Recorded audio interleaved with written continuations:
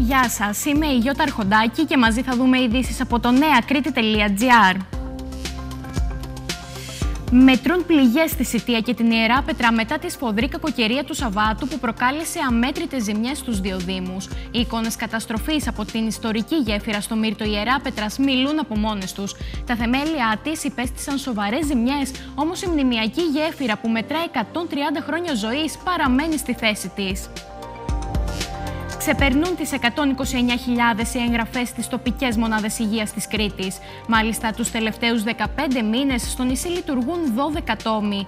Τι είναι οι τοπικές μονάδες υγείας, τι παρέχουν και ποιος ο ρόλος του οικογενειακού γιατρού; Δείτε όλα τα στοιχεία στο νεακρήτη.gr.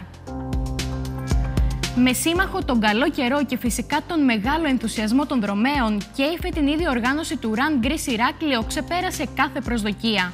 Πάνω από 4.500 άτομα δήλωσαν συμμετοχή και έτρεξαν στην παραλιακή λεωφόρο της πόλης.